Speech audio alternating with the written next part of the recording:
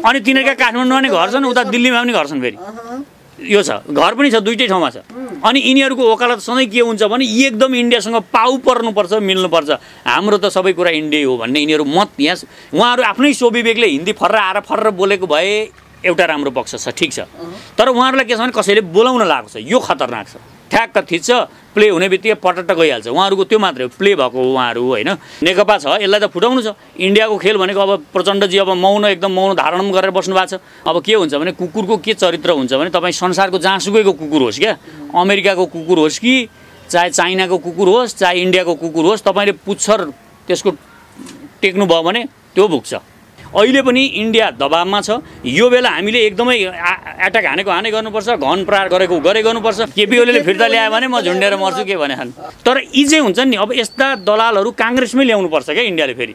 यो किसिमले बोल्ने मानिसहरू भनेको जम्मै इन्डियाको चाकरी हो यो। वास्तवमा यो गङ्गाजीमाथिको आक्रमण पनि जुन छ यो भनेको त्यो हजारौँ वर्षदेखि यहाँ बसेका धरतीपुत्रहरूमाथि अङ्ग्रेजद्वाराहरूको आक्रमण हो यो।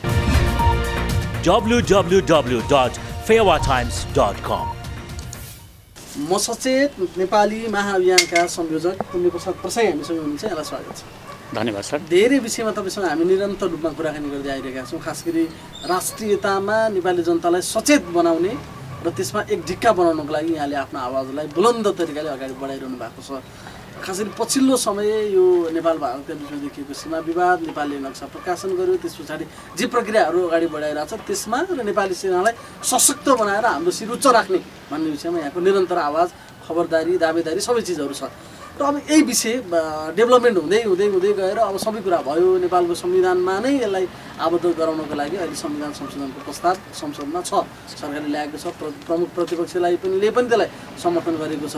तर सँगसँगै काउन्टरका रूपमा भनौँ या के रूपमा अरू विभिन्न प्रस्तावहरूको ताती लाग्न थालेको छ अहिले संसद सचिवालयमा।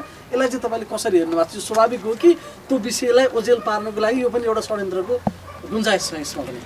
होइन अब संविधान संशोधन गर्न भनेपछि सबैजनाले आफ्नो आफ्नो पहल गर्छ त्यो एउटा स्वाभाविक रूपमा लिउँ यसलाई कुनै पनि कुरालाई हामीले भयङ्कर नभनौँ। स्वाभाविक रूपमा लिउँ तथापि के हो भने यो स्वाभाविकताभित्र पनि षड्यन्त्र छ। यसलाई चाहिँ फेरि हामीले ध्यान दिनुपर्छ। अब स्वाभाविक रूपमा आएको हो भनेर त्यो सबैलाई स्वाभाविक रूपमा हामी त लिन्छौँ। किनभने अब संविधान संशोधन गर्ने भएपछि ज जसका इन्ट्रेस्टहरू हुन्छन् संविधान संशोधन गर्ने तिनीहरू आउनु स्वाभाविक भयो नि त यो त। तर त्यहाँभित्रको कसले खेलिराखेको छ। अब यही बेला तिमीहरूले उठाउनुपर्छ है यो मौका हो है। भनेर कसले चलाए चलायमान गराइराखेको छ? यो प्रमुख कुरा हो। त्यसकारण यहाँभित्र षड्यन्त्र छैन भन्ने कुरा आउँदैन। षड्यन्त्र एकदमै छ कि यो अब संविधान संशोधन नहोस्। धेरै मानिसहरू अहिले के पनि तर्क गर्न थालेका छन् भने अब मन्त्री परिषदबाट पास भएपछि भइहाल्यो नि किन संविधान संशोधन गर्नु पर्यो भनेर नेपाली जनताहरूलाई एक किसिमले बेवकुफ पनि बनाउन खोजिरहेका छन् नि त नेपाली नागरिकलाई होइन? त्यो मत भनेको पनि यही षड्यन्त्रकै अन्तर्गत बोलिने मत हो। जो भनिरहेका छन् जो कानुनविदहरू अरू धेरै मान्छेहरू के भनिरहेका छन् होइन स मन्त्री परिषदबाट पारित गरेर त्यो हाम्रो हो भनेपछि सकियो भने हाम्रो होइन भने छैन हाम्रो संविधानले भन्छन्। यो पनि षड्यन्त्र हो र त्यो पनि अहिले जुन विविध ताँती आइरहेका छन् तपाईँले भन्नुभएको जस्तो अरू यो पनि गरौँ ऊ पनि गरौँ यो पनि अहिले गरौँ भनेर यो त्यसलाई खिचडी बनाउन खोजे ती सबै षड्यन्त्र जे छ हाम्रो परिवर्तित नक्सा संविधानको अनुसूचीमा राख्ने र त्यसलाई निशान छाप परिवर्तन गर्नको लागि खास गरी त्यसको उद्देश्य त्यो छ।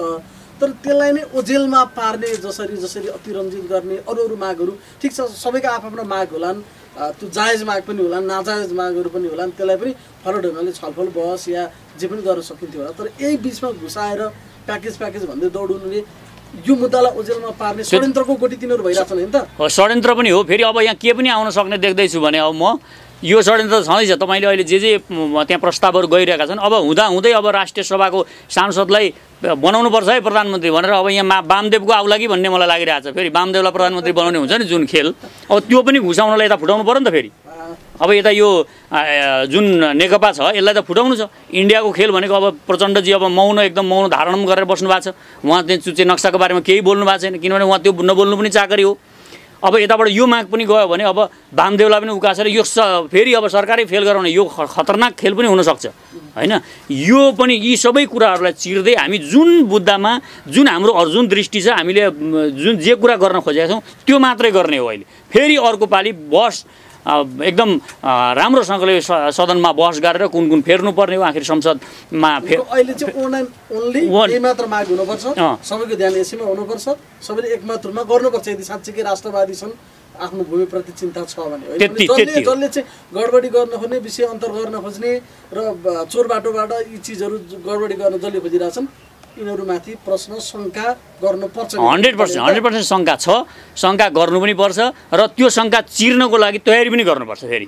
अब हामी नागरिकहरूले पनि के सचेत हुनुपर्छ भने हामी यी अरूका मागहरू अहिले हो त नि अब मधेसको पनि यही बेला गरिदिउँ न त।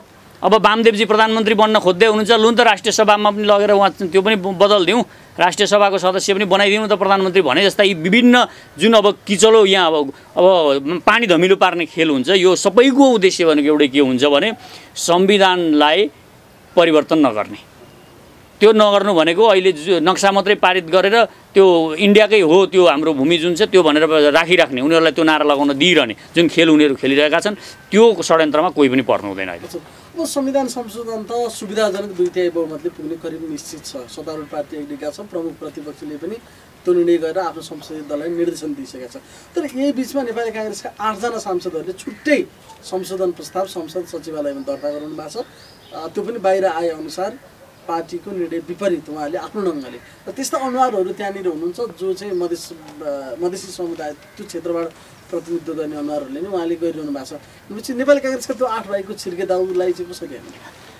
यो त सिधै कस्तो हो भने इन्डियाले अब ककललाई प्रयोग गर्न सक्छ। यहाँ ज जसलाई जसरी जसरी प्रयोग गर्न सक्छ त्यसरी प्रयोग गर्ने हो हेर्नुहोस्। उसले त यो परिवर्तन हुन नदिन चाहन्छ उसको त अल्टिमेट उद्देश्य यो त उसको अन्तिम उद्देश्य त त्यो नै छ। त्यो भएर उसले त अनेक खेलहरू खेल्छ तर यी आठ भाइ पनि टिक्नेवाला छैनन्। नेपाली नागरिकहरूको यत्रो आवाज छ यो अब यी आठ भाइ कुनै पनि षड्यन्त्रहरू अहिले सम्भावना छैन। नि। होइन दर्ता हिसाब कस्तो भने मान्छे। हो, परिदृश्यहरू चाहिँ? त्यो म्याउ भन्दा पनि भुकाइ भन्नुपर्छ। उताकोले पुच्छर टोक टेकिदियो। अब के हुन्छ भने कुकुरको के चरित्र हुन्छ भने तपाईँ संसारको जहाँसुकैको कुकुर होस् क्या। अमेरिकाको कुकुर होस् कि चाहे चाइनाको कुकुर होस् चाहे इन्डियाको कुकुर होस् तपाईँले पुच्छर त्यसको टेक्नुभयो भने त्यो भुक्छ। तपाईँलाई टोक्न आउँछ। अब अहिले चाहिँ इन्डियाले पुच्छर यिनीहरूको समाइदियो अब यी भुकेका हुन्। त्यस कारण बिरालो भन्दा पनि कुकुर हुन् उताका होइन? यिनीहरू भुकेको चाहिँ अब उनीहरूले पुच्छर चलाइदिएको छ त्यो भएर यिनीहरूले भुकेका हुन्। त्यसमा हामीले डराउनु पर्दैन। अब इन्डिया सि सिधै इन्डियासँग हामी टक्कर गर्ने भनेको छौँ अब कुकुरसँग त डराउनु पर्ने कुरा भएन नि त भयो त। अब इन्डियासँग हामी त्यो सोचमा गइराखेको छौँ। हाम्रो टक्कर त अब सिधा मोदीसँग उहाँको सेनासँग यो लेभलको अब टक्कर टक्रावको कुरा आइरहेको छ। फेरि अहिले एउटा कुरा बुझ्नुपर्ने कुरा के छ भने अहिले इन्डिया कमजोर भएको अवस्था छ हेर्नुहोस्। हाम्रा मागहरू पुरा गर्ने इन्डियासँग दबाब दिने भनेको यही बेला हो हेर्नुहोस्। जब चाइना शक्तिशाली हुन्छ अनि हामीलाई पनि अलिकति बल मिल्छ हेर्नुहोस्। अब उताबाट बाटो खोल्छु भन्ने पनि हाम्रो पोजिसन छ। र इतिहासमै यो भइरहेको छ। जहिले जहिले चाइना कमजोर हुन्छ तब हामीलाई दबाएको छ यताबाट। दक्षिणमा पहिला कम्पनीको सरकारले पनि त्यही गरेको थियो। अहिले पनि इन्डिया दबाबमा छ। यो बेला हामीले एकदमै एट्याक हानेको हाने गर्नुपर्छ घन प्रहार गरेको गरे गर्नुपर्छ आकारमा ल्याएकै हुनुपर्छ। अहिले नै। त्यस कारण यो छोड्नु हुँदैन यो डराउनु पर्ने कुकुर भुक्यो भनेर डराउनु पर्ने अवस्था छैन। यसमा पक्षमा मतदान गर्ने यतातिर प्रधानमन्त्री अ, माथि चाहिँ खेद प्रस्ताव पारित गर्ने उहाँले गर्दा चाहिँ नेपाल भारत सम्बन्ध बिग सम्बन्ध बिग्रियो। उहाँले संसदमा अराजक तरिकाले प्रस्तुत गर्नुभयो भनेर प्रधानमन्त्रीमाथि खेद प्रस्ताव नेपाली काङ्ग्रेसले पारित गरेछ। यसलाई के भन्नुहुन्छ तपाईँ? सदनमा त लगेको छैन खेत प्रस्ताव पारित गरौँ भनेर। पार्टीको होइन एउटा कुरा एउटा कुरा हामी के स्पष्ट हुनुपर्छ भने पहिला जति पनि काङ्ग्रेस काङ्ग्रेस भनेको अहिलेमा केही मानिसहरूदेखि बाहेक यो इन्डियन विचारधारा यहाँ बोक्ने पार्टी हो क्या यो? उताको विचारधारालाई यहाँ एकदम राम्रोसँगले यहाँ जनता जनजनमा पुर्याउने पार्टी हो। त्यो भएको कारणले उनीहरूले यो गर्नु स्वाभाविक छ हेर्नुहोस्। अब प्रतिपक्षले इन्डिया भारतको भोलिलाई उनीहरूले बाटो पनि राखिरहेको हो क्या यो? भोलि होइन हामी त इन्डियाको विपक्षमा थिएनौँ नि त। भन्नलाई उनीहरू बचेर काम गर्न खोज्छन्। र जब राष्ट्रियताको सवाल आउँछ राष्ट्रियताको सवालमा चाहे जोसुकै होस् प्रधानमन्त्री चाहे एमालेको होस् काङ्ग्रेसको होस् नेकपाको जसको भए पनि त्यो एक मत हाम्रो हाम्रो यो सबैभन्दा ठुलो प्रब्लम के हो भने हाम्रो राष्ट्रिय अवधारणा के हो त सुरक्षा नीति हाम्रो विदेश नीति यो सबै कुरामा एकदम राम्रो कङ्क्रिट हाम्रो फाइनल नभएको कारणले जो जे मन लाग्यो त्यही बोल्छ हेर्नुहोस्। जे मन लाग्यो त्यही गर्छ। हाम्रो सुरक्षा नीति पनि ठिक छैन। त्यो कारणले हाम्रो अब चाहिँ एउटा यो अहिले के पनि समय आएको हो भने एउटा नीति एउटा कङ्क्रिट हाम्रो यो नीति हो है विदेशलाई हेर्ने यो नीति हो हाम्रो यसरी हामी अघि बढ्ने हो। भन्ने कुराको एउटा लक्ष्य पनि निर्धारण गर्नुपर्ने जरुरी छ अहिले। अब एउटा विषय चाहिँ ती जो त्यो प्रस्ताव लिएर छुट्टै प्रस्ताव दर्ता गराए नेपाली काङ्ग्रेसका आठ भाइ मध्येका एकजना। अमरेश कुमार सिंहले हिजो एउटा सञ्चार माध्यममा अन्तर्वार्ता दिनु भन्नुभएको छ यो नक्सा ल्याउँदैमा भूमि कुनै हालतमा फिर्ता हुँदैन।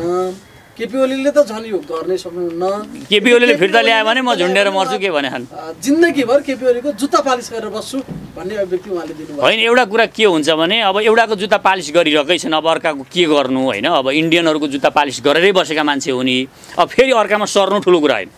मुख्य कुरा के हो भने यिनीहरूलाई के लागिरहेको छ भने त्यो भूमि अब इन्डियाले अहिले जुन हाम्रो सामरिक एकदम क्षेत्र हो हामी छोड्दैनौँ भनेर अडान लिएको छ नि। त्यो अडानमा बोल्ने त हुन् नि यिनीहरू त। यिनीहरू बोल्ने भनेको त आफ्नो भाषा आफ्नो स्वविवेकले बोल्ने होइनन् यिनीहरू भनेको अब मान्छेले त त्यो इन्जेक्सन नै उतापट्टिबाट लगाएको भएर त्यो इन्जेक्सनको रिफ्लेक्सन होइन यी यी मान्छे भने त अब अमरेश कुमारको कुरा गर्ने हो भने अब अलिकति व्यक्तिगत नजाउँ भन्नु आइहाल्छ के? त्यही त आइहाल्छ। अब यिनी भनेका हेर्नुहोस् उताको तलब खाने मान्छे हुन् पहिलो कुरा। यिनको कुरा गर्नुहुन्छ भने अब म सबै फेरि मधेसवादी नेता सबैलाई भन्दिनँ है त्यहाँ ठाकुर जस्ता नेता पनि म राम्रो मा एकदम राम्रो नेता हुन् है उहाँहरू फेरि। होइन? तर यी चाहिँ हुन्छ नि अब यस्ता दलालहरू काङ्ग्रेसमै ल्याउनुपर्छ क्या इन्डियाले फेरि। अब मधेसवादी दलमा धेरै ठुलो दलाल उत्पन्न गर्न सक्दैन। किनभने त्यहाँ त जनताले पहिल्यै चनाएको हुन्छ पहिल्यै नागरिकले हेरिहाल्नुहुन्छ त्यहाँ। त्यहाँ अलि यो है है चुप लाग है त इन्डियाको भाषा बोल्दैछ है भनेर पहिल्यै भन्नुहुन्छ। तर यी काङ्ग्रेसभित्र जुन छन् यी बडो खतरनाक छन् हेर्नुहोस् नेपालको लागि। त्यसकारण यिनीहरूले यो मत बोल्छन् र एउटा अब पछि यस्तै बाहुन छेत्रीलाई हुन्छ फेरि अब देशमा सम्झौता गर्ने बेला चाहिँ त्यो पुग्छ फेरि त्यहाँ। होइन त्यसरी गर्छन्। त्यस कारण यी यी भनेका चाहिँ बिचरा अब यिनको चाहिँ पहिले यिनलाई उठाएकै रहले बिचरा लैनचौरले उठाएको हो यिनलाई होइन? यिनलाई त्यो काङ्ग्रेसमा सधैँ योग्य मान्छे पनि होइनन् फेरि। यिनलाई त्यो टिकट दिनुपर्ने खालका योग्य यिनी सांसद हुनुपर्ने योग्य खालका मान्छे होइनन्। तथापि पनि के हो भने यिनलाई उताको आशीर्वाद भएको कारणले काङ्ग्रेसले दिनुपर्ने यिनलाई टिकट दिनुपर्ने बाध्यता छ। यिनलाई उठाउनु पर्ने बाध्यता छ। यिनलाई नेतामा स्थापित गराउनु पर्ने उनीहरूको बाध्यता छ। र यिनले बोल्ने भाषा जे पनि जहिले पनि इन्डियाको फेभरमा हुन्छ। उनले बोल्ने भनेको उताकै भाषा बोल्ने हो। उताकै कहीँ कहीँ मात्रै हो यो। यसरी यसले त झन् हाम्रो जुन उत्साह छ तपाईँले जसरी उत्साह भइरहनु भएको छ नेपाली जनतामा तपाईँ लगायत जो जसले उत्साह भइरहनु भएको छ त्यो मनोबल गिराउनको लागि कति तल्लो स्तरको टिप्पणी गरेको एउटा माननीय जस्तो जो माननीयको लोगो लगाएर नेपालको संसदमा प्रवेश गरेर बोल्ने मान्छेहरूले भूमि फिर्ता ल्याउनलाई हामी सबैजना लाग्नुपर्छ त्यहाँ लड्नुपर्छ या कुटनीतिक पहल गर्नुपर्छ वार्तै गर्नुपर्छ भन्नेसम्म पनि ठिक छ ल। इन्डियासँग वार्ता गर्नुपर्छ छलफल गर्नुपर्छ जुधेर हुन्न भन्नेसम्मलाई हामी सकारात्मक रूपमा लिएको। तर प्रधानमन्त्रीले ल्याए भने त म जुत्ता पालिस गरेर बस्छु भन्नुको अर्थ के? ल्याउनै हुँदैन भन्ने त होला नि होइन? होइन। उनले ल्याउन सक्दैन मैले ल्याउने हो भन्नु चाहिँ अब त। कहाँबाट ल्याउँछु? बिचरा अब अब पुच्छरले हात्ती चलाउँदैन हेर्नुहोस् हिँडाउँदैन त्यो त्यो यिनले गर्ने भन्ने कुरा होइन। यिनीहरूको सोच भनेकै पहिलो कुरा हामीले के बुझ्नुपर्छ भने त्यो भूमि गए पनि अब तपाईँले सुजाताको पनि मतहरू हेर्नुभयो होला होइन? यी अमरेश कुमारको मात्र होइन क्या? काङ्ग्रेसीको समूलको मत अहिले केही बाध्य भएर नागरिकहरूको दबावले मात्र काङ्ग्रेसीहरू बोलिराखेको छन् कि? अनि यता पनि नेकपा पनि फेरि नेकपा चाहिँ पुरा पवित्र छ यो दुधले धोको छ भन्ने होइन। यहाँ पनि यिनीहरू मौनता यिनीहरूको मौनता पनि इन्डियाकै चाकरी हो क्या? यो हामीले यसरी उसले बोलो भनेर मात्रै नहेरौँ मौनतालाई पनि हेरौँ। दुई दुइटै एउ- एउटै काम गरिरहेका छन् यिनीहरू। मौन हुनेहरू पनि चाकरी गरिरहेका छन् त्यो ल्याउनु हुँदैन भनेको यी मौन हुनेहरूले पनि र बोल्नेहरूले पनि भनेको त्यही हो। त्यसकारण यिनीहरूलाई त्यो भूमिको केही मतलबै छैन। त्यो भूमि आओस् नआओस् यिनीहरूलाई टाउको दुखाइको मतलब होइन। र एउटा कुरा हामीलाई चाहिँ किन माया लाग्छ त्यो भूमि भने यहाँ केही अरब इन्डियाले पैसा दियो भनेर हामी के गर्छौँ? अब यत्रो इन्डियाले सहयोग गरेछ भन्छौँ तर तपाईँ एकचोटि हिसाब गर्नुहोस् तिन सय बहत्तर वर्ग किलोमिटर। त्यति मात्र छैन तराईमा अरू गर्दाखेरि झन्डै हजार वर्ग किलोमिटर त अहिले तत्काल मिचिएको देखिएको छ होइन? त्यो भूमिलाई एक रोपनी जग्गाको एक करोड हिसाब लाउनुहोस् क्या तपाईँले। एक करोड पनि नलाउनुहोस् ल। पचास लाख मात्रै लाएर तपाईँ भरे बेलुका गएर हिसाब गर्नुहोस्। यो देशलाई सय वर्ष सम्पन्न बनाउने पैसा आउँछ त्यहाँबाट। सय वर्ष माला सुतेर केही काम नगरिकन नेपाली जनताले चुपचाप लागेर सुती सुती खान पुग्ने गरी अमेरिकाका सामान मगाएर चाइनाका सामान मगाएर संसारभरिका सामान मगाएर खान पुग्छ। त्यो स्थिति छ। हेर्नुहोस्। त्यति जग्गा उसले मिचेको छ। त्यो भूमिको महत्त्व त त्यहाँ छ नि त। तर यो भूमिको महत्त्व यिनीहरूलाई यिनीहरूलाई त उनीहरूको घरखेत गएको त होइन। त्यसकारण यिनीहरू यसरी बोल्नु भनेको चाहिँ भोलि कथम कदाचित फेरि अब पार्टी अलिक डह्रो भयो भने शक्तिमा गइन्छ कि मन्त्री पो भइन्छ कि भनेर एउटा मन्त्रीको लोभले जनताको लागि बोलेका होइनन् उनले आफ्नो इच्छा हुन्छ नि त्यो आकाङ्क्षालाई मालिकलाई खुसी पारेको मात्र हो। मालिकलाई खुसी पार्न भनेको अब ए लैन्चहरूलाई यिनीहरू फेरि उता यिनीहरूको केही छैन। त्यो मत चाहिँ फेरि इन्डियाका मिडियाहरूले पनि देखाउँछ हेर्नुहोस् यिनीहरूको। इन्डियामा पनि अब माहौल बनाउन उनीहरूलाई सजिलो हुन्छ इन्डियालाई भनेपछि ज अहिले के गर्न खोजेको भने अहिले सबै यिनीहरूको एउटै उद्देश्य के छ भने छैन भन्ने देखाउनको लागि त्यो टुल्स प्रयोग गर्न सक्छ इन्डियाले होइन? त्यो त उनीहरूले के होइन। त्यो त मसला उनीहरूले अब। त्यो नक्सा त्यो हाम्रै हो ज जमिन। हामीले नि जुन भोगचलन गरिरहेका छौँ हाम्रै हो भन्ने कुरा हो। अनि फेरि फिर्ता ल्याउने फिर्ता ल्याउने पनि भन्नु हुँदैन क्या हामीले? किन फिर्ता ल्याउने हाम्रो त भोगचलन मात्रै गर्ने हो नि त अब। हाम्रो भोगचलन गर्ने। हामीले अहिले भोगचलन गर्न पाएको छैनौँ। जमिन हाम्रो हो। हामी भोगचलन गरौँ भन्ने अर्थमा जानुपर्ने हुन्छ। अब हामीले भोगचलन गर्नलाई यिनीहरू चाहिँ यो यो किसिमले बोल्ने मानिसहरू भनेको जम्मै इन्डियाको चाकरी हो यो। अरू केही पनि होइन र त्यो मत उहाँ सम्प्रेषण गर्नको लागि इन्डियाको मिडियाहरूमा र इन्डियाको जनताहरूलाई पनि भ्रम पार्नु छ नि त फेरि। इन्डियामा के छ भने केही मानिसहरू फेरि सबै खराब छैनन् है इन्डियामा। अहिले यो आरएसएसवाला सोच छ जो यो आतङ्ककारी सोच छ जुन यो हिन्दू टेरोरिस्ट स्टाइलको सोच छ आरएसएसको त्यो सोचवालाले मात्रै हो अर्काको जमिन खाने अर्काको अरूसँग सिमानाको लडाइँ गर्ने त्यो सोचवालाले हो। र तिनीहरूलाई खुसी पार्ने यिनीहरू बोल्ने हुन् यिनीहरूले चलाएका छन्। तर त्यहाँ केही यस्ता राम्रो मान्छेहरू पनि छन् उनीहरूलाई थाहा छ स्पष्ट इतिहास पनि थाहा छ नेपालको त्यो गौरवलाग्दो इतिहास पनि थाहा छ। उनीहरूलाई सबै कुरा के थाहा छ भने यो जमिन वास्तवमा नेपालकै हो यो उसैले भोगचलन हामीले चाहिँ अहिले भोगचलन चाहिँ गरिरहेको तर जमिन चाहिँ नेपालको हो भन्ने त्यहाँ मोदीलाई पनि थाहा छ भने मोदीलाई पनि स्पष्ट त्यो राजनाथ जसले उद्घाटन गरौँ उसलाई पनि राम्रोसँगले थाहा छ। अब हामीले हाम्रो मत राम्रोसँगले नराखेकोले उनीहरूलाई अब यसलाई चाहिँ चाहिँ ने इन्डियनको जनताहरूमा उनीहरूले भन्ने अहिले राम्रो मिडियाले के भनिराखेको छ भने यत्रो वर्ष भोगचलन नगर्नु हामीलाई गर्न दिइरहनु पनि नेपालको कमजोरी हो भनेको छ राम्रो मिडियाले चाहिँ के त्यस कारण यो उनीहरूको हाम्रो हो भन्नेमा त त्यहाँ प्रमाण दिएर हिँड्नु जरुरी छैन। अब यही विषयमा कुराकानी गर्दाखेरि मैले दुई दिन अगाडि मात्रै एकजना मानले गङ्गा चौधरीसँग कुराकानी गरेको सायद। यहाँले पनि त्यो विषयलाई हेरेँ मैले हेरेको। थिएँ र त्यस उप र उहाँले संसदमा दिएका अभिव्यक्तिका उप खास गरी उहाँले जोड्नु भएको विषय चाहिँ अङ्गीकृत नागरिकहरूलाई राज्यको उच्च तहमा लैजाँदाखेरि त्यसले समस्या आयो। नेपालको सदनमै इन्डियन चेलीहरू आउँदाखेरि उनीहरूको दादागिरी बढी भयो। उनीहरूले माइताको माया बढी गरेको कारणले गर्दा हाम्रो सार्वभौमिकतामाथि प्रश्न उठ्यो। र त्यस्ता चिजहरू सुन्दाखेरि जस्तो इन्डियासँग सोधेर गर्नुपर्छ इन्डियासँग छलफल गर्नुपर्छ नेपालका नक्साहरू भन्ने कुराहरू सुन्दा मेरो रगत उम्लिन्छ। यदि म सम यो पदमा थिइनँ भने सायद मैले त्यसको अर्कै तरिकाले पनि रियाक्ट गर्थेँ होला भन्ने उपर आज संसदमा पनि एकदम ठुलो वितण्डा मचियो हिन्दी भाषामा गडगडाट त्यहाँनिर विषयहरू उठे। गङ्गा चौधरीलाई कारवाहीसम्मका माग भए र उहाँको रगत उम्लेको हो भने बागमतीमा गएर चोपलिनु भन्नेसम्मका अभिव्यक्तिहरू त्यहाँ आए। यस उप चाहिँ तपाईँको हो यो चाहिँ यो एउटा कुरा के छ भने जब अङ्गीकृतवालाहरू बढ्दै जान्छन् देशमा सबैभन्दा एकदमै असर नराम्रो असर कसलाई पर्छ? यो देशका धरतीपुत्र थारूहरूलाई पर्छ हेर्नुहोस्। उनीहरूलाई माथिको प अहिले पनि तपाईँ हेर्नुहोस् थारूहरू कुनै पनि मास्लो स्तरको पदमा राष्ट्रिय स्तरको कुनै पनि उसमा पुगेका छैनन् जम्मै यिनै अङ्गीकृतवालाहरूले ओगटिरहेको छ हो कि र अहिले मानिसहरूलाई के लाग्छ भने किन थारूहरू पनि हामी मधेसवादी दलहरूसँग यिनीहरूसँग मिल्नुपर्छ थारूहरू भने जस्तो यो चलाउन खोजिएको छ इन्डियाले यिनीहरूलाई मिलाउन खोजिरहेको छ। तर थारूहरूले के बुझेका छन् नेपालका थारूहरूले भने उताबाट जति अङ्गीकृत बढ्दै जान्छन् हाम्रो अधिकारहरू कटौती हुँदै जान्छ। यो र जुन अहिले गङ्गाजीले जुन बोल्नु भएको छ उहाँले बोलेको कुरो त्यो पीडा हो हेर्नुहोस्। त्यही पीडा हो। किनभने उहाँ त्यो अभिव्यक्तिप्रति पुण्य प्रसाईको ऐक्यबद्धता छ? किन नहुने। किन नहुने? यहाँ त अहिले यति पछि पारिएको छ। हामीलाई पहिला हामी बाहुन छेत्रीहरूले नि एक किसिमले दबाएर राख्यौँ। थारू समाजमा एक किसिमको दबाब त सिर्जना थियो नि त। पहिलाका धनी धनी एकदम चौधरीहरू सबै धनी थिए। हाम्रा बाबुआजीहरू सबै तिनै थारूका जग्गामा बसेका हुने हेर्नुहोस्। बस्दा बस्दै जम्मै हाम्रै बाबुआजीका जग्गा भए अब बिचरा थारूहरू सबै अहिले पाटा गोड्नेर उमा बस्नु पर्यो। उनीहरूको दुःख छ हेर्नुहोस्। त्यो अब धेरै कुराहरू त्यसका फ्याक्टरहरू धेरै छन्। तथापि पनि के हो भने अब अहिले पनि आएर। कहाँ हुन्छ? वडाध्यक्ष जुन अहिले मान्छेहरूको आह्वान उठिरहेको छ नि वडाध्यक्षभन्दा माथि। यो वास्तवमा के हुन्छ भने जहिले माइतीको माया हुन्छ क्या जहिले यो एउटा कुरा के बुझ्नुहोस् तपाईँहरू भने सबैमा देखिन्छ हो। अब हेर्नुहोस् यो अब तपाईँको दिदीबहिनी हुनुहुन्छ भने बिहा गरेर दिनुभएको छ भने तपाईँलाई प्यारो हुन्छ।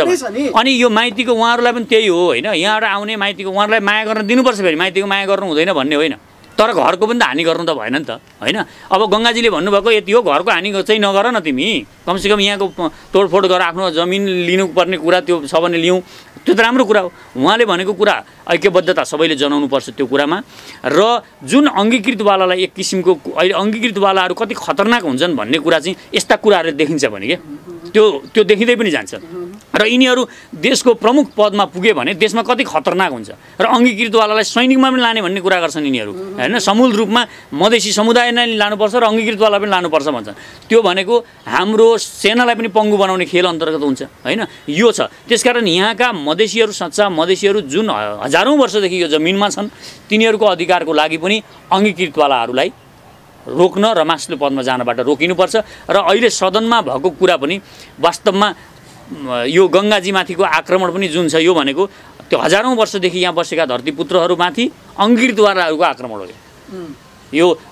यसरी बुझ्नुपर्छ हामीले। सिङ्गो अङ्गीकृतहरूले नेपालका भूमिपुत्रहरूलाई भूमिपुत्रीहरूलाई आक्रमण आक्रमण हो यसरी बुझ्नुपर्छ गङ्गा चौधरीमाथि कारबाही नै गर्नुपर्छ भन्ने माग उठेको छ। खासरी उहाँको अभिव्यक्ति होइन पहिलो कुरा त के हुन्छ भने कारबाही सदनमा अब कारबाही चाहिँ कसले गर्ने अथवा कसलाई गर्ने भन्ने विषय चाहिँ उठ्छ होला नि त। जसले चाहिँ नेपालको नक्सा छाप्दाखेरि इन्डियासँग परामर्श गर्नुपर्छ छलफल गर्नुपर्छ अनि मात्र छाप्नुपर्छ भन्नेलाई गर्ने कि त्यस्तो भन्ने मान्छेको कुरा सुन्दा मेरो रगत उम्लिन्छ भन्ने मान्छेलाई गर्ने भन्ने एउटा कर्नर क्वेसन के यो चाहिँ? जनताको साइडबाट। यो चाहिँ के हो भने हेर्नुहोस् अहिले सबै वास्तवमा भन्ने हो भने हरेक नेपालको नागरिकमा एक किसिमको त्यो गङ्गाजीकै भावना छ क्या। उहाँको आत्माले बोलेको कुरा हो। त्यो यदि तपाईँको उसमा त्यो स्पष्ट रूपमा मैले सुन्दाखेरि उहाँ आत्मा बोलिरहेको छु क्या त्यो। मुख मुख बोले छैन क्या त्यहाँ त्यो आत्माको आवाज हो। र यहाँको यो आवाज भनेको चाहिँ वास्तवमा यहाँको जनजाति म यहाँका जुन भूमिपुत्रहरू छन् होइन दलितहरू छन् यो सबैको आवाज यो छ क्या। तपाईँ कसको आवाज छैन? बाबुराम भट्टराईहरूको आवाज यस्तो छैन।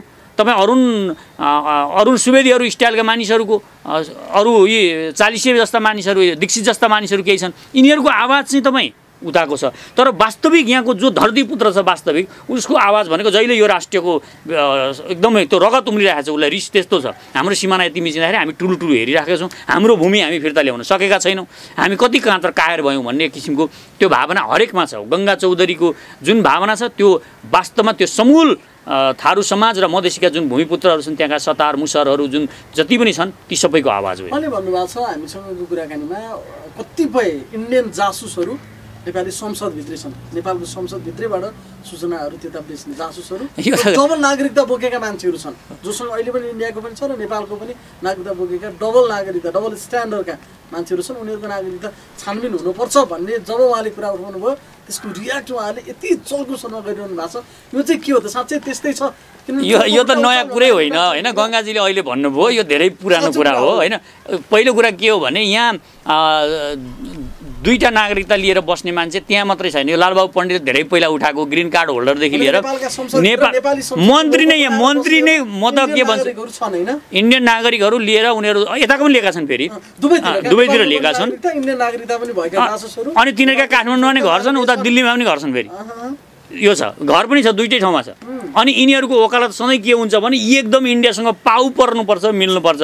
हाम्रो त सबै कुरा इन्डिया हो भन्ने यिनीहरू मत यहाँ यो आएकै यिनीहरूलाई ल्याएकै त्यो मत यहाँ सबै जन जनस्तरमा त्यो सम्प्रेषण गर्नलाई हो ठुलो प्लानिङ अन्तर्गत एकदम प्लानिङ छ। बौद्धिक स्तरमा हेर्नुहोस् न तपाईँ बौद्धिक मानिसहरू कसरी दास बनेर इन्डियाको लबिङ गरिरहेका छन्? तपाईँ यो उनीहरूका तपाईँले कतिको इन्टरभ्यू पनि लिनुभयो होला। बडो कराएर नेपाली जनतालाई अम्लो ठडाएर यहाँ तिमीहरूले देख्छौ नाकाबन्दी लगाएपछि भनेर चुनौती दिने कति तपाईँले देख्नु भएको छ नि?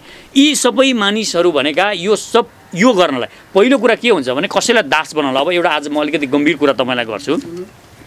कसैलाई दास मानसिक रूपमा तपाईँले भौतिक रूपमा मलाई थुन्नुभयो भने जेलमा लगेर मलाई थुन्नुभयो भने म तपाईँको दास हुन्न क्या? म दास कुन बेला हुन्छु भने तपाईँ मानसिक रूपमा मलाई कमजोर बना- जब बनाउनुहुन्छ दास बनाउनुहुन्छ मैले स्वीकार गर्छु तब म दास हुन्छु। अहिले कुनै पनि नेपालीको छोरोलाई कसैले थुनेर दास बन्दैन। जस्तो अब यिनीहरूको के प्लानिङ हुन्छ तपाईँ हेर्नुहोस्। अब म अलिकति बताउँछु तपाईँलाई। जस्तो अस्ति अमेरिकाको अमेरिकाको अमेरिकन आइडलमा एउटा हाम्रो भाइ के पोखरेल? दिपेश दिवस पोखरेल। दिवस। दिवस पोखरेल आर्थर के समथिङ आर्थर गन उनको नाम चाहिँ राखेका छन् उनले। उनी नेपाल अमेरिकन आइडलमा पुगे दोस्रोसम्म भए होइन? उनी किन यो अमेरिकन आइडलमा अहिले त्यहाँ कसरी पुगे उनी? अब यो सांस्कृतिक रूपमा अहिले एमसिसी पास गर्नु छ नि त यहाँ। बुझ्नु भएन? अब कल्चरल्ली के हुन्छ भने अब यसरी आक्रमण उनलाई भएपछि नेपालमा त अमेरिकाको हाई हुने भयो। सबैले अमेरिकन आइडल हेर्ने भए सबै एउटा कल्चरल्ली हामीलाई दबाब दियो मानसिक रूपमा। अब तपाईँ अर्को कुरा हेर्नुहोस् तपाईँ अब एउटा गम्भीर कुरा भन्छु म। जब इन्डियाले सिक्किम खायो डेनी डेन्जोक्पा इन्डियामा फिल्म स्टार भयो बनाइयो उनलाई। एउटा यत्रो नाक भएको त्यो बेला इन्डियामा चल्दैन थियो क्या यस्तो नाक भएको थेप्चे अनुहार यस्तो आँखा भएको इन्डियामा त्यो बेला कसैले हिरो पनि मान्दैन थियो गुन्डा पनि मान्दैन थियो तर उनी एकदमै उनलाई हिट बनायो जहाँसुकै उनका फिल्म आयो किनभने अब त्यो जुन घृणा थियो सिक्किमका जनता इन्डियाप्रति त्यो तोड्नलाई सांस्कृतिक एट्याक हो जस्तो छयालिस सालमा ठ्याक्क मनिषा हुनु फेरि अयोग्य भने होइन है उहाँहरू कसैलाई मैले एक्टिङमा अयोग्य हुनुहुन्थ्यो भन्न खोजेँ होइन फेरि यो भ्रममा नपर्नु होला। छयालिस सालपछि पनि यो त इन्डियाले गरेको इन्डियाले सब खेल गरौँ यहाँ भनेपछि मनिषा कोइराला जानुभयो इन्डियामा र मनिषा कोइराला हिट हुनुभयो हो? अनि हाम्रो एउटा खेलाडीलाई पनि गरेको थियो नि यो क्रिकेट खेलाडीलाई। उहाँको नाम के? होइन शक्ति गौचन होइन। जे होस् त्यो उहाँको उसमा खेल्नु भएको थियो उहाँले। त्यो बेला इन्डियाको प्रति यहाँ नेपालको एकदमै नकारात्मक धारणा बनेको बेला त्यही सन्दीप?